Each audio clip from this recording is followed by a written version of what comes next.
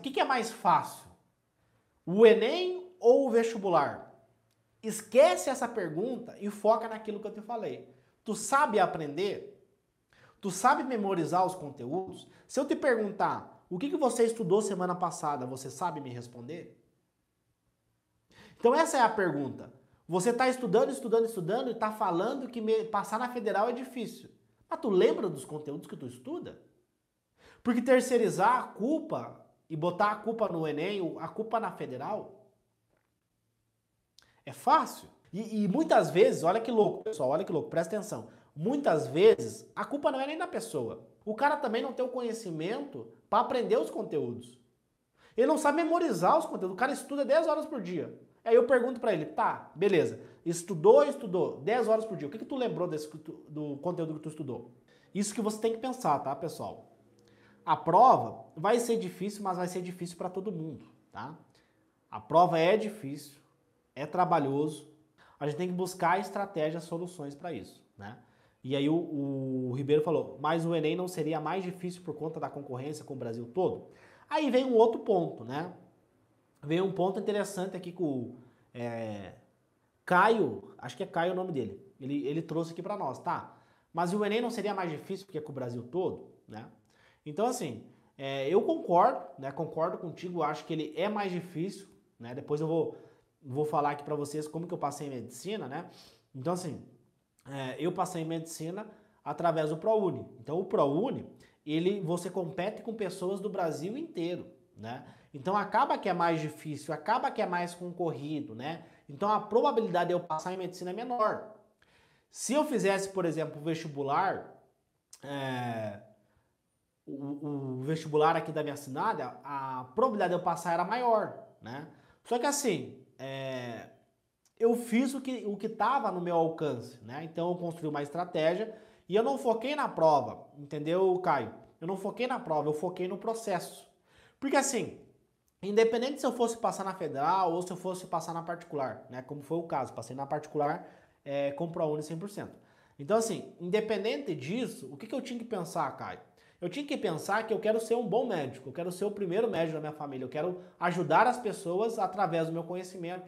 Eu quero uh, ter uma, um reconhecimento da minha profissão, do meu trabalho. Eu quero ser reconhecido pelas pessoas que eu ajudei, pela, pela, pela melhoria da qualidade de vida que eu gerei na vida daquelas pessoas. Então, para mim conseguir atingir isso, Caio, é muito importante para mim conseguir isso, eu precisava aprender, eu precisava de conhecimento, eu precisava de memória. Então, independente de aonde que eu ia passar em medicina, se era Enem, se era vestibular, embora a minha estratégia foi o Enem, eu, eu escolhi uma prova, foi o Enem, eu foquei 100% nela. Independente disso, Caio, é, eu precisava me desenvolver como aluno, né? Eu precisava desses 60 dias para mim é, aprender como passar em medicina, para mim melhorar a minha alimentação, para mim ter uma rotina de estudo mais produtiva, para mim melhorar o meu sono, para mim ter controle emocional, porque eu sabia que a medicina ela ia exigir muito de mim e eu queria ser um bom médico, eu queria uh, poder ajudar as pessoas, né? Então é, o vestibular ele é um, uma preparação para medicina. Então veja bem, você precisa ter essa mentalidade. Pô, o que, que é mais fácil? Será que se você for pelo caminho mais fácil, lá na frente você não vai você não vai sofrer. E, e eu não estou falando que é mais fácil o vestibular. O vestibular é tão difícil quanto o Enem. Não é isso que eu estou falando. O que eu quero trazer aqui é que, independente do, do, do final, você tem que focar no processo. No processo de aprender, no processo de memorizar, ter controle emocional, saber lidar com as suas emoções, saber identificar essas emoções e saber agir em cima dessas emoções. Isso é fundamental para você ser o primeiro médico da sua família. O salário, a remuneração é importante? Claro que é importante, né? Você ter um bom salário, poder viajar, é, poder fazer as coisas, né?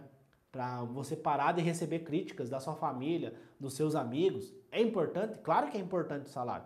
Mas eu acho que antes de você ter uma meta de salário, ah, eu quero ganhar 30 mil por mês, eu quero ganhar 40 mil por mês. Antes disso, você tem que pensar, pô, beleza. E o impacto que eu vou fazer na vida das pessoas? Isso é muito importante também, tá?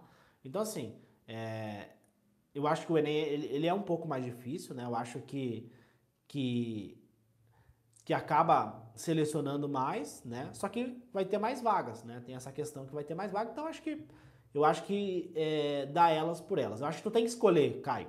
Assim, escolhe, é o Enem ou é o vestibular? Escolhe uma para tu casar. Você escolhendo, você casando com essa prova, escolhendo ela e casando com ela, foca nela. Foca em ser um especialista naquela prova.